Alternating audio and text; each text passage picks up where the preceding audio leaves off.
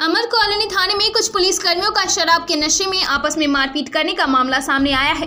झगड़ा कर रहे पुलिस कर्मियों को शांत करने पहुँचे थाने में तैनात इंस्पेक्टर जगजीवन राम के साथ भी आरोपित पुलिस कर्मियों ने अभद्रता की।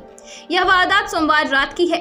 मारपीट और अभद्रता करने वाले पुलिस कर्मी का मेडिकल कराया गया। मेडिकल कराए जाने के बाद जिला पुलिस के आला अधिकारियों को सूचना दी गई। फ़िलहाल मामले में जिला पुलिस अधिकारियों का कहना है कि मामले की जाँच की जा रही है।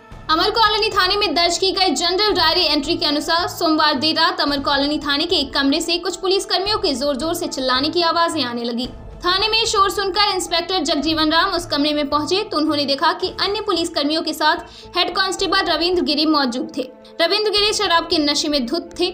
इंस्पेक्टर जगजीवन राम ने उन्हें शांत करने की कोशिश की तो रविंद्र गिरी उनके साथ बदसलूकी करते हुए हाथापाई पर उतारू हो गए। हालाँकि साथी पुलिस कर्मियों ने उन्हें रोका और मामले को शांत किया। पीड़ित पुलिस इंस्पेक्टर का आरोप है कि हेड कांस्टेबल रविंद्र गिरी, दो अन्य पुलिस कर्मियों एसआई विवेक और हेड कांस्टेबल सुनील के साथ बैठकर शराब पी रहे थे, और तीनों ने शराब के नशे में आपस में मारपीट की थी। झगड़े की आवाज़ सुनकर मौके पर पहुँचे पीड़ित यानी इंस्पेक्टर जगजीवन राम के साथ भी उन्होंने बदसलूकी की और हाथापाई पर उतारू हो गए। इस दौरान वहाँ से एसआई विवेक को थाने से जामिया थाने में तैनात हेड कांस्टेबल सुनील लेकर चला गया। सोमवार रात थाने में पुलिस कर्मियों के बीच हुई मारपीट की बात। इंटरनेट मीडिया पर मंगलवार सुबह से ही वायरल हो गई।